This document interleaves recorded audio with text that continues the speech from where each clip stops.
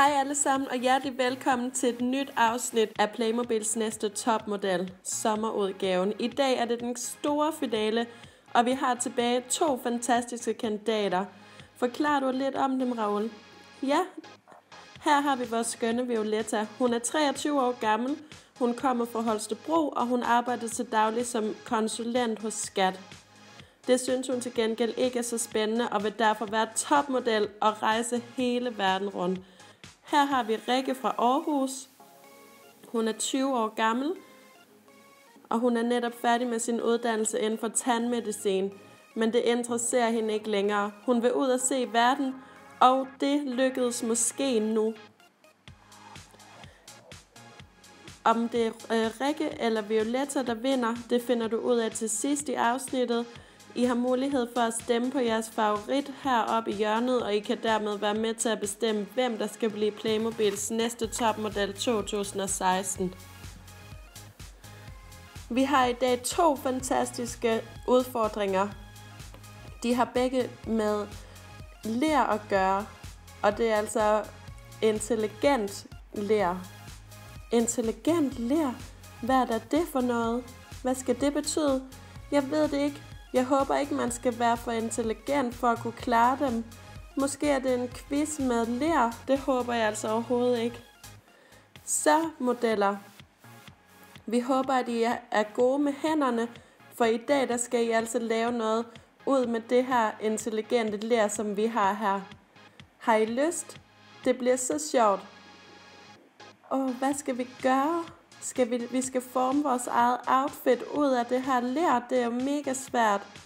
Åh, det er altså virkelig svært. Det er jo bare en stor klump. Hvad skal jeg gøre? Mm, altså, det er både lidt, eller det er sådan klæbrigt, og jeg ved ikke, hvad jeg skal gøre. I det mindste så glitrer det så flot. Kandidaterne, de, de ved ikke, hvad, øh, hvad hinanden laver. Så derfor bliver det en overraskelse, at de kommer først til at se hinanden til sidst, når vi skal vise det. Åh, oh, altså, det er virkelig svært. Prøv at se det her, det ligner jo ingenting. Det er virkelig svært at arbejde med. I det mindste klæder den her farve mig rigtig godt. Det er bare ikke min yndlingsfarve.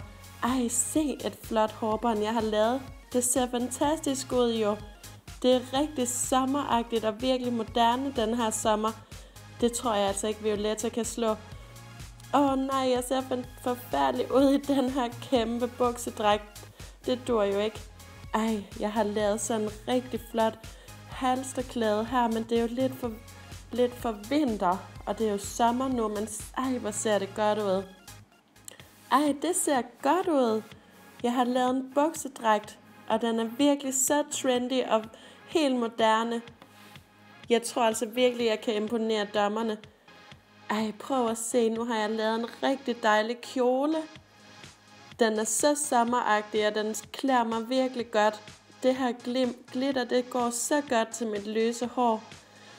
Men den er til, desværre helt gennemsigtig. Åh oh, nej, men nå. Altså, det må jeg prøve. Jeg fik jo det, kun det her. Så er begge kandidater klar, og de har lavet et fantastisk outfit ud af intelligent lær. Violetta i en et blåt jumpsuit med et rigtig sejt øhm, bånd rundt om, og Rikke i en krystal gennemsigtig glitrende kjole. Rigtig en sommerkjole. Det ser så godt ud. Hmm. Det var så den første udfordring. Det er en rigtig god udfordring. Nu, nu, går, nu skal vi finde ud af, hvad den næste af, øh, udfordring er. Det går ud på, at pigerne de skal vise, hvad de kan, og bruge de rette accessories på catwalken. Rikke, hvad laver du der? Læret, det, det, det, læret, det klistrer fast, jeg kan ikke komme op. Så, nu kom du op. Held og lykke. Tak.